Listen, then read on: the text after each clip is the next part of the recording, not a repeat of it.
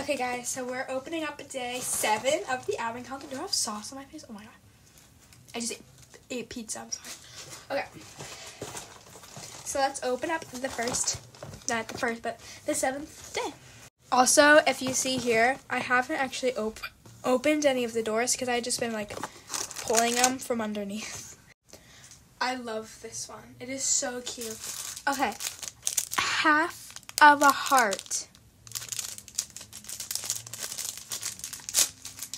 That is so cute.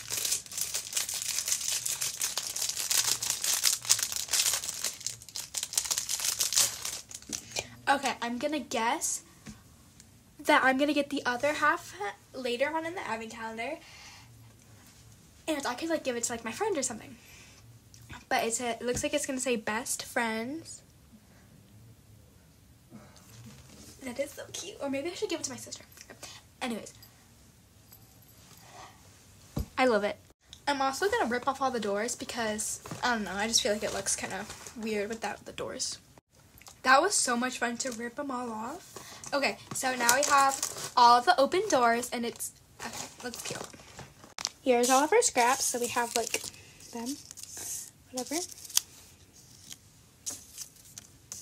Okay, here are our scraps and let me put what we got so far in there.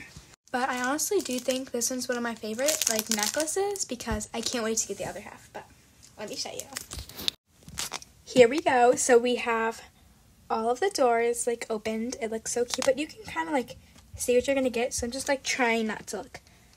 But yeah, you can see what we got, and that was our necklace. And.